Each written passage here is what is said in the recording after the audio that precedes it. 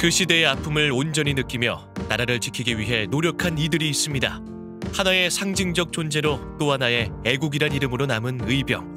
오늘은 그 길을 찾아가 봅니다.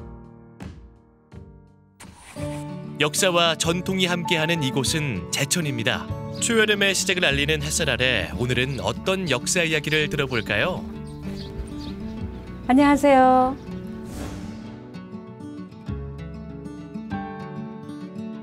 선생님 의병을 검색하면은 연관돼서 제천이 되게 많이 나오더라고요. 중국 네, 지역에서는. 네. 그왜 그런 건가요?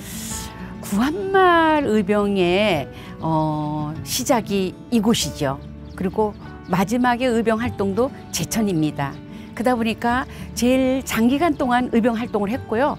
그 다음에 또 최고의 피해지라 그럴까요?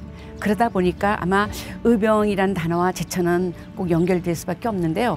오늘 한번 이곳저곳을 보시면서 제천 의병의 역사를 한번 어, 같이 돌아보면 어떨까요? 평범하고도 아늑한 옛 모습을 한 자양영당은 제천 의병의 시작이라고 할 수 있는 곳인데요. 고즈넉한 이곳을 자세히 살펴보면 역사의 뒤안길을 거슬러 올라 범상치 않은 기운이 스며 있는 곳입니다. 아, 여기 지금 자양서사라고 돼 있습니다. 정사라는 어, 단어를 쓸 때는 연, 그러니까 학문, 한 학파에서 학맥을 이용해서 연구하는 기간을 정사라고 하였다고 합니다. 1889년에 춘천에서 성제 유준교 선생님께서 내려오십니다. 여기서 하서 학파의 학맥을 이어오던 어, 자양 서사입니다. 1895년 단발령이 시행되자 많은 선비가 비밀 회의를 하고 의병을 일으켰는데요. 이를 호자 창의진이라고 하여 항일 독립운동 진원지로 평가되고 있습니다. 이곳은 주제학의 창시자와 화서학파의 맥을 잇는 대표적인 인물들의 영정을 모셔놓은 사당인데요. 조선 후기의 유학자인 유중교가 후학을 양성했던 곳이자 그의 제자 유인석이 나라를 구하고자 의병 봉기를 논의한 곳이기도 합니다. 영정을 모셔놓은 집이다. 이게 영당이거든요. 그래서 여기 이제 자양 영당이죠. 어, 여기는 여섯 분의 영정이 모셔서 있습니다. 유인석 선생님하고 숙제 이소흥 선생님께서 의병 활동을 하셨고요.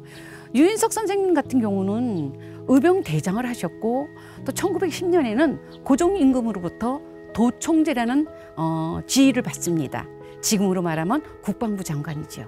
뭐 여느 시절에도 그렇겠지만 구한말 때는 특히 의병 활동했던 분들이 활동만 하는 게 아니라 전 재산을 의병에 쓰입니다. 그러다 보니까 가족들은 자연히 못 살 수밖에 없고요. 그래서 하사아파 맥이 끊깁니다. 의병 활동을 하면서 화사아파 맥이 끊깁니다. 이곳에서 그들은 어떤 이야기를 나눴을까요?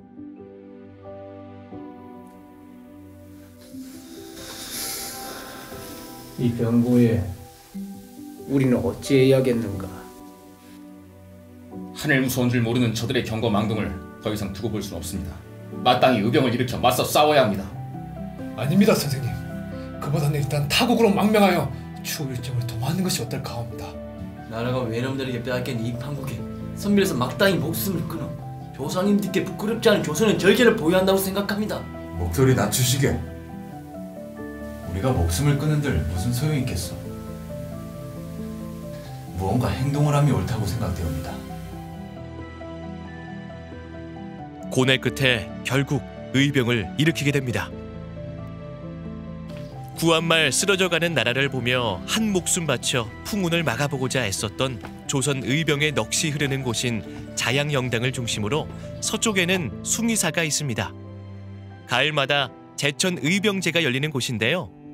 의암 유인섭과 함께한 의병들의 위패 뒤에 열 폭의 백지병풍이 둘러쳐져 있습니다. 조선말 13도 의군 도청제 유선생 희화 재현 신이라고 돼 있습니다. 그러면 어, 도청제라는 국방부 장관이거든요. 그러면 그 당시에 의병들의 모두 뭐 물론 대장도 있고 휘하도 있는데 모든 분들의 위패다 이렇게 보시면 맞습니다. 이건 이제 백자병풍이라 그럽니다. 이 의병이 활동하신 분들이 위패잖아요. 근데 이 당시에 의병 활동하셨던 분들이 물론 선비도 있겠지만 백성들도 많았거든요. 그- 그 많은 사람들을 이름도 알 수 없거니와 언제 죽었는지도 알 수 없기 때문에 적을 수가 없어요. 그래서 어, 제 눈에는 보입니다. 저 병풍에 빼곡히 의병 활동을 하시다가 돌아가신 분들의 이름이 새겨진 걸로 보시면 맞습니다. 나라가 위태로움에 자신의 목숨을 기꺼이 내놓은 사람들. 점점 희미해지는 역사지만 우리는 기억해야 합니다. 제천 의병의 모든 것을 한자리에서 보고 배울 수 있는 곳이 바로 제천 의병 전시관입니다. 고귀한 구국 정신을 계승하고 구한말 외세 침입에 항쟁한 의병들의 자료를 한자리에 모았는데요. 당시 의병장들의 활약도와 의병들의 희생 정신을 상징적으로 표현한 부조를 비롯해 다양한 유물을 전시해 후손들에게 전하기 위해 만들어진 곳입니다. 의암 유인석을 비롯한 의병들이 직접 사용했던 지도와 각종 도구들이 전시돼 있어 당시의 의병 활동이 더욱 생생하게 다가오네요. 이제 마지막으로 둘러볼 곳이 있는데요. 제천 시민들에게 남산이라고 불리는 이곳은 제천의 북두 칠성봉으로 불리는 곳 중 하나인 정봉산입니다. 해발 200m의 작은 동산인 이곳은 제천 의병사에서 매우 중요한 장소로 꼽힙니다. 제천 시내가 훤히 내려다 보이는 이곳에서 그때 무슨 일이 벌어진 걸까요? 여기는 제천의 남산입니다. 뭐 서울만 남산 있는 거 아니에요? 각 지역마다 화기를 막아주는 역할을 하는 게 남산이라 그럽니다. 그래서 제천의 남산이 이곳인데 해발 한 170m 정도 되는 이곳이 그 구한말 의병사회 때 가장 치열했던 전쟁 남산 전투가 있던 곳입니다. 제천 남산은 제천 의병의 항일 정신이 깃든 격전지입니다. 명성황후 씨의 사건과 단발령의 저항에 일어난 제천 의병은 기세를 떨쳤지만 일본군 수비대와 관군의 공세로 제천으로 후퇴해 남산에 주둔하며 버텼는데요. 결국 마을은 모두 불타버려 잿더미로 변하고 많은 의병이 이곳에서 순국하며 안타까운 최후를 맞이한 곳입니다. 마을 사람들이 살던 마을은 일본군의 방화에 불타 폐허가 되고 지도에서조차 사라진 마을이 돼버렸습니다. 구한말 의병 항쟁의 상징적인 의미로 남긴 기념탑에 그들은 하늘을 향해 두 팔 벌리며 당당하게 서 있습니다. 결과가 뻔한 가망 없는 싸움에 나선 이들은 그들의 미래를 알고 있었을까요? 제가 보실 때는 의병을 할 정도의 정신을 가신 분들은 아셨을 것 같아요. 그렇지만 선택의 여지가 없었고요. 어, 그분들이 호련히 선비나 백성들이 일어나지 않았더라면 오늘 아마 우리나라가 있었을까요?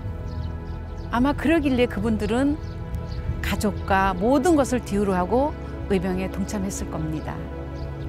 저는 가끔 어, 영당을 찾아오시는 분들인데 마무리로 이런 말을 합니다. 대한민국이라는 큰 소나무가 있다면은 땅 속에 그 뿌리 한 줄기는 제천이다. 몰랐다면 그냥 지나쳤을 우리의 이야기. 역사를 제대로 알고 나면 새롭게 보이는데요. 매년 10월 초 제천에서는 제천 의병과 순국선열의 숭고한 구국 정신을 기리기 위해 제천 의병제를 봉행합니다. 쓰러져 가는 나라를 위해 몸과 마음을 바친 의병의 숭고한 정신을 마음 깊이 새겨보면 어떨까요?